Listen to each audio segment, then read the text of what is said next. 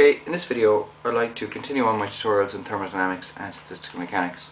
This video number 39 and I'm going to talk about the Gibbs and Helmholtz thermodynamic identities. I'd like to draw your attention to my website universityphysicstutorials.com. So the previous videos to this are number 39 where I discussed the chemical potential, 38 where I discussed the Gibbs and Helmholtz free energies and number 36 where I discussed the thermodynamic identities in terms of the total energy, the chemical potential, temperature, pressure, uh, the internal energy and volume. So now what we're basically going to do is get our own thermodynamic identity for Gibbs and Helmholtz free energies. So just to remind us, the thermodynamic identity said the infinitesimal change in the internal energy is TdS minus PdV plus mu times dN. That's what it is. Alright, so we also knew that the enthalpy H is equal to U plus PV. So basically what I'm going to do is just manipulate U plus PV and get uh, we'll get DH. Alright, so we know that H is a function of uh, internal energy, pressure and volume.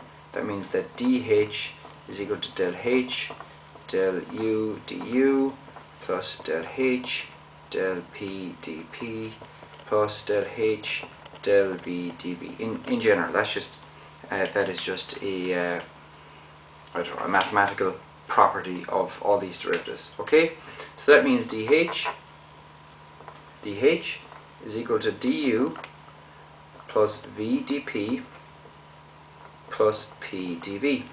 Okay, if you just plug, plug in the derivatives. Or dH is equal to TdS plus VdP plus mu dN. Okay? That is the thermodynamic identity for enthalpy. Next, we're going to do the thermodynamic uh, identity for the Helmholtz free energy F. Well, the Helmholtz free energy when, is when you're at constant temperature but not constant pressure. So F is equal to U minus T times S. Similarly, say F is a function of U, T and S. Okay, so that means that dF is equal to del F del U du plus del F del T dt plus del F del S ds. Okay, so the derivatives are pretty straightforward. So when you plug in the derivatives, you're going to get that del f is equal to du minus tds plus, or excuse me, minus sdt. Like that, minus sdt. Okay? Now, what we're going to do now is, we know that we have du, we can furthermore plug in du, because we already have what du is here. So we're going to get that df is going to be equal to tds minus pdv plus mu dn and then we're going to have our two other terms of negative tds minus sdt. Okay, so we can see pretty straightforward that we have this tds term cancelling here and that leaves our final uh, thermodynamic identity for the Helmholtz free energy says that dF is going to be equal to minus S dt minus P dV plus mu dN.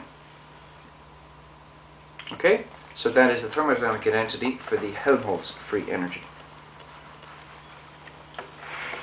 Okay, next let's look at the Gibbs free energy. So this time we're at constant pressure and constant temperature. That's going to be equal to U plus PV minus T times S. Okay, so look, we know what dg is at this stage, you've done it 20 times, but if you plug in all the values, you get dg is equal to du plus vdp, and another helicopter flying over me,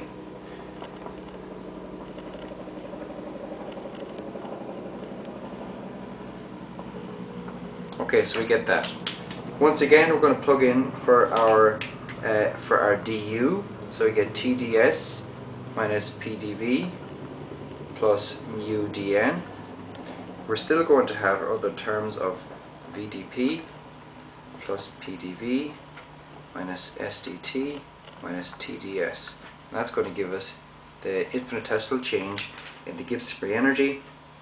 And we can put it all together saying that the in infinitesimal change of the Gibbs free energy is minus SDT plus VDP plus mu dn. Simple. Okay?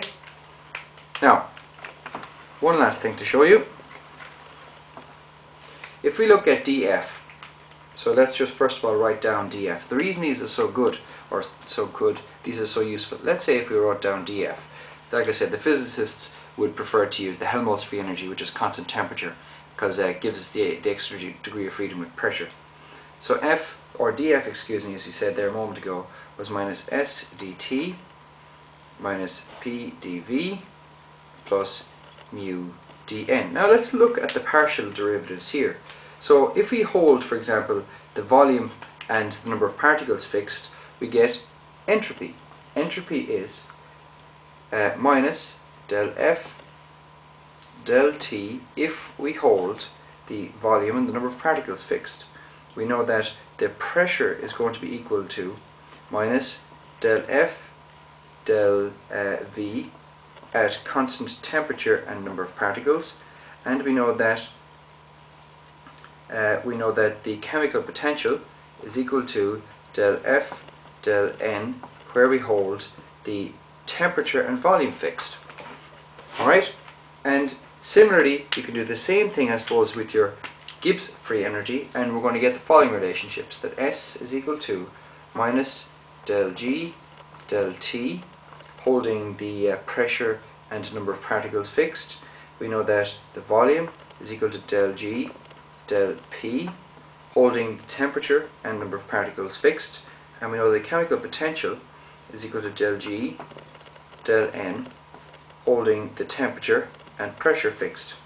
The point here is that by measuring the Gibbs free energy or measuring the Helmholtz free energy, you're able to get these quantities of entropy and uh, chemical potential and, for example, volume or pressure.